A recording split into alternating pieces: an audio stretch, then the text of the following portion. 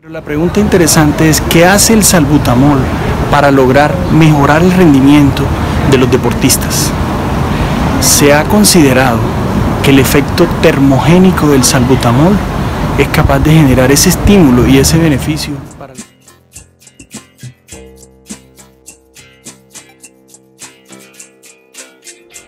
Te habla Abraham Ali desde la frontera entre los Estados Unidos y México para comentar sobre el efecto de salbutamol en los deportistas de alto rendimiento.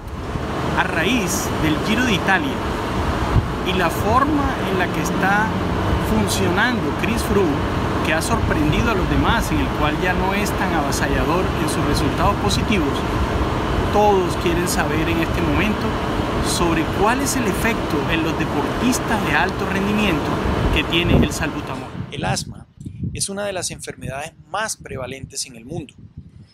Por ejemplo, en Sudamérica, la prevalencia de asma es cercana al 12% en todas las edades. Y uno de los medicamentos más utilizados para aliviar las crisis asmáticas es el salbutamol. El salbutamol es un medicamento que usualmente se da inhalado, pero se ha relacionado la utilización de salbutamol con el dopaje en los deportistas. El año anterior se encontró que el gran ganador de muchos de los últimos Tours de Francia, como es Chris Froome, tenía unos niveles en orina elevados de salbutamol. Y en ese momento él argumentó que siendo asmático había tenido durante la vuelta anterior a España una crisis asmática que lo obligó a recibir una mayor cantidad de salbutamol a la que usualmente utilizaba. Allí se generó la controversia. ¿Será que los deportistas que utilizan salbutamol tienen una ventaja desde el punto de vista sistémico o respiratorio sobre aquellos deportistas que no utilizan salbutamol? Era una forma de considerar que el asma o la excusa de tener asma le daba ventaja sobre los deportistas no asmáticos. El límite aceptado por las autoridades regulatorias de salbutamol en la orina es de 1000 nanogramos por mililitro.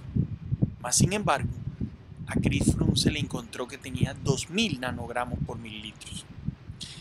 Si se considera que la dosis máxima de salbutamol por las entidades que regulan el deporte se encuentra en 1600 microgramos por 24 horas. Se considera que son 16 disparos de salbutamol en un día. En este caso, lo que pretendo no es saber si Froome es o no culpable, es mostrarles el impacto de las drogas inhalatorias en el funcionamiento de los deportistas. Es difícil predecir si el salbutamol que se va a eliminar en la orina acorde a la cantidad recibida, puede ser una cantidad determinada o no. Porque esta predicción es supremamente complicada porque varía de individuo a individuo y de momento a momento. Entonces, la controversia científica es el salbutamol realmente genera dopaje en los deportistas. El doping es causado por salbutamol? Y para ello te voy a comentar alguna de la evidencia médica que se ha descubierto al respecto.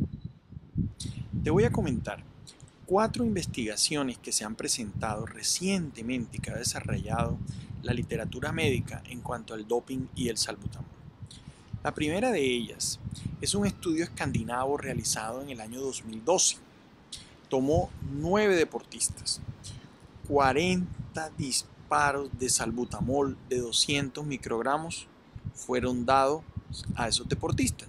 Y se comparó con algo que médicamente se llama el placebo. Y es dar una inhalación o un medicamento tomado y que realmente no esté el medicamento presente, o sea, no exista el principio activo. Entonces se comparó eso, salbutamol versus el placebo les hicieron una evaluación de ejercicio que se llama el test incremental. evaluaron el consumo máximo de oxígeno y no hubo variación en algo que se llama el umbral del lactato, que es cuando la persona se le acaba el oxígeno dentro del cuerpo, entra en una fase que se llama anaeróbica.